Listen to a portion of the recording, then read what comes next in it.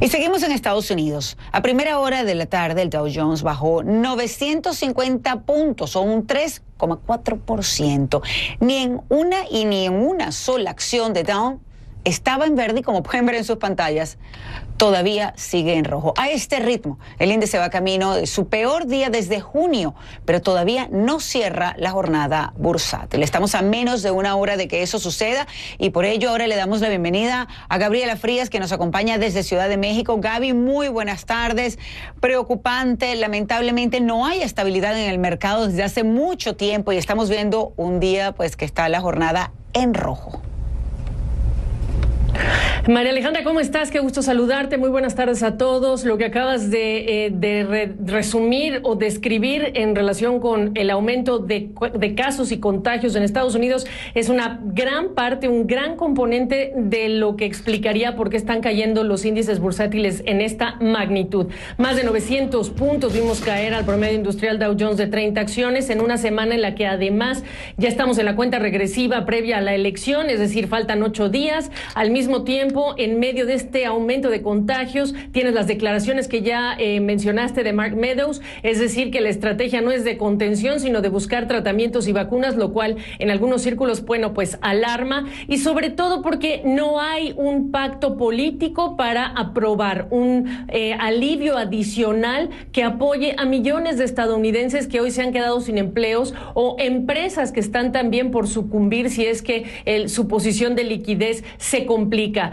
Evidentemente que esta es una de las preocupaciones. La otra, por supuesto, llega desde Europa, donde al menos en las últimas horas hemos agregado restricciones al movimiento de personas en algunas naciones de Europa. Y esta es una semana peculiar porque también recibiremos informes trimestrales de varias compañías y en anticipación de esos informes, bueno, pues hay reacomodos de portafolios. Recibiremos informes de Amazon, Alphabet, Facebook, por mencionar algunos nombres, lo mismo que el informe de Caterpillar, esta fabricante de maquinaria y equipos que se conoce mañana y la presión sobre esta acción también es importante. Y qué decir, por supuesto, de las negociaciones políticas entre Nancy Pelosi, la presidenta de la Cámara de Representantes, y la Casa Blanca en particular. Bueno, el día de hoy eh, Pelosi estaba apuntando contra eh, los republicanos diciendo que hay posiciones que no se pueden eh, no se pueden coincidir o que no se pueden acercar, pero al parecer a las dos de la tarde, tiempo de Washington, se habría producido una nueva llamada, un nuevo intento con el secretario del Tesoro, Steven Mnuchin,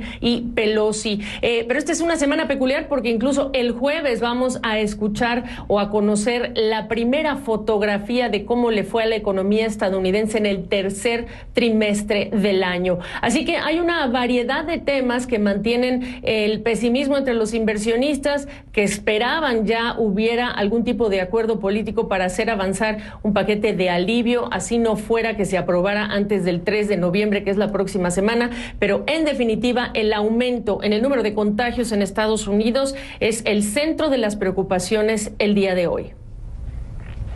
Ciertamente, no hay un acuerdo político, no hay un plan realmente para atacar la pandemia o controlarla, ya lo dijo inclusive pues eh, la Casa Blanca, que esperan es por la vacuna y sabemos que eso toma tiempo.